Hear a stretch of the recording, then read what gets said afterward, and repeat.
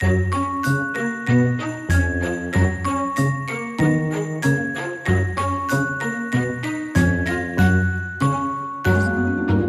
Navidad, salud, paz y bienestar para todos. Este año ha sido un año dramático, un año marcado por la tragedia del COVID, eh, un virus que se ha llevado muchas vidas y que ha provocado mucho dolor, mucho sufrimiento, mucho sacrificio y mucha ruina. Un virus que también hará que estas navidades sean distintas. Estas navidades vamos a echar de menos eh, muchas cosas queridas y entrañables. Vamos a echar de menos los besos y los abrazos, echaremos de menos las comidas numerosas eh, con familiares, eh, con amigos, con compañeros de trabajo. Echaremos de menos nuestras calles y plazas abarrotadas el día 24, la cabalgata de Reyes, la carrera San Silvestre y, como digo, otras muchas cosas queridas y entrañables. Pero será Navidad y tiene que ser más Navidad que nunca. Tiene que ser Navidad en el espíritu de la Navidad. Tiene que ser Navidad en nuestros corazones y en nuestra voluntad, porque ahora, más que nunca, necesitamos ese espíritu de la Navidad. Ahora como nunca necesitamos amor, necesitamos humildad y necesitamos esperanza. Y ese es el espíritu de la Navidad. Amor, humildad y esperanza. Amor al prójimo y en especial amor a quienes sufren.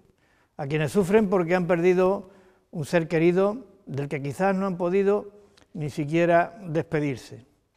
Amor a los enfermos, solidaridad con quienes están padeciendo la enfermedad.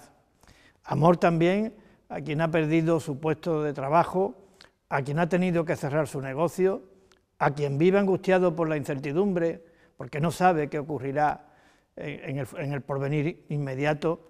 Amor, en definitiva, a los pobres, a los desamparados, a los que eh, sufren de soledad. Amor al prójimo y amor a quienes más necesitan de la fraternidad que significa esta Navidad. Y también amor a la vida, ¿Y cómo podemos demostrar el amor a la vida en estos momentos? En estos momentos en que nos azota este virus tan letal, pues teniendo un comportamiento precavido, prudente y responsable para evitar su contagio. Precavido, prudente y responsable para proteger nuestra salud y la de nuestros seres queridos, la de nuestros vecinos. En definitiva, haciendo valer ese amor a la vida, que hoy, que ahora, en estas Navidades, se tiene que traducir en una actitud responsable y cívica para combatir la propagación del virus. Y humildad, otra de las claves de la Navidad. Humildad para no tirar nunca la primera piedra. Humildad para no reconocerse superior a nadie y actuar en consecuencia. Humildad para reconocer en el humilde al sabio y en el soberbio al necio humildad para reconocer los, errores y pedir perdón cuantas veces sea necesario. Y humildad para ceder, humildad para tender puentes, humildad para buscar el acuerdo, humildad para procurar la unidad de todos, para servir de la manera más eficaz posible al objetivo común de luchar contra el enemigo común del virus.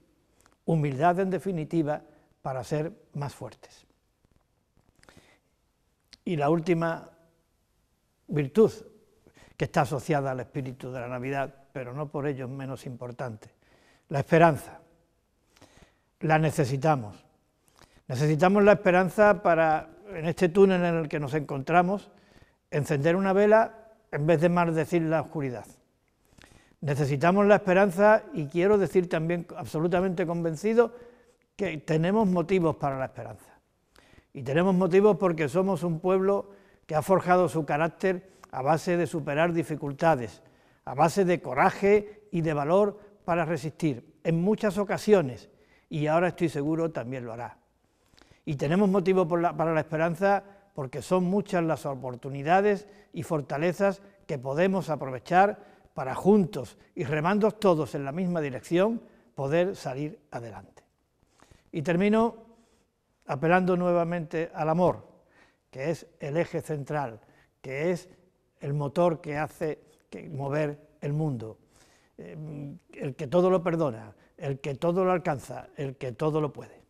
Y amor en particular al prójimo, amor a los más vulnerables, a los más necesitados, amor a nuestra tierra, a esta tierra eh, cálida, a esta tierra fecunda, profunda, generosa, solidaria, amable, hospitalaria, hermosa, mágica, a esta tierra que es lugar de encuentro, de respeto, de concordia, de convivencia entre personas de distintos credos, eh, culturas y razas. Todos al abrigo de una misma ley, igual para todos, todos al amparo de una misma patria, de una misma bandera. Y amor finalmente a España, como decía, la patria común e indivisible de todos los españoles, nuestra razón de ser, amor a España, la patria de todos. Y finalmente, como decía al principio, feliz Navidad. Tenemos motivos para la esperanza. Busquemos la esperanza.